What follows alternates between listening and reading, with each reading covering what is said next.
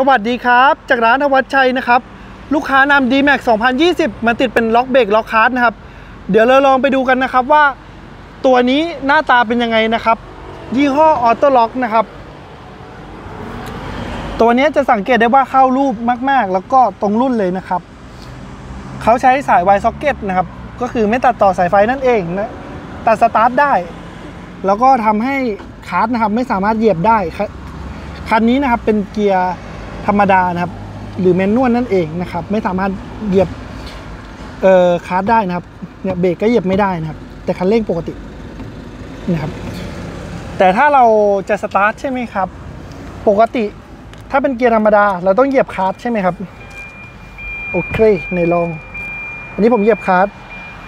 หมุนกุญแจอันนี้คือสตาร์ทไม่ได้ใช่ไหมครับ โอเคเดี๋ยวผมปิดนะ เดี๋ยวเราลองมาดูนะครับว่าปลดล็อกยังไงนะครับกุญแจที่เขาให้มานะครับมีอยู่ 3 ดอกนั่นเองนะครับเออแนะนำว่าอย่าทำหายนะครับ เพราะกุญแจพวกนี้ไม่สามารถก๊อปปี้ได้เนาะโอเค ถ้าจะปลดล็อก เริ่มจากข้างในก่อน แล้วก็ไปข้างนอกนะครับ แบบนี้ ตัวสีน้ำเงินเมื่อกี้จะดิดเข้าไป อันนี้แปลว่าปลดล็อก แต่ถ้า ล็อกอยู่คือจะมีไฟนะครับ ตัวนี้กรณีรถหายจ่าย1นึ่งแสนนะครับ มีกรมธรรม์ให้เป็นใบแบบนี้ แบบนี้นะครับ มีหลักฐานชัดเจนนะครับ แบบนี้เลยนะครับ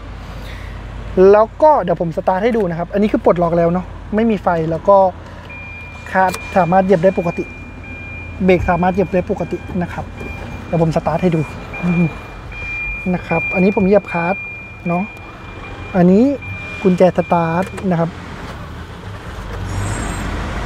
ถามว่าหลาย ๆ คนมักถามว่าติดไปทำไม เออผมมองว่าเพิ่มความปลอดภัยให้กับรถเนาะบางทีเราจอดรถในพื้นที่เสี่ยงอย่างเช่นแบบ เรานั่งเครื่องบินไปเที่ยวต่างจังหวัดอย่างนี้เป็นต้นหรือ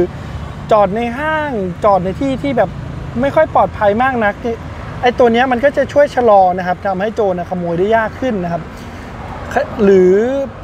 เขาเห็นนี่ก็แทบจะแบบไม่อยากขโมยแล้วผมมองว่าแบบนั้นนะ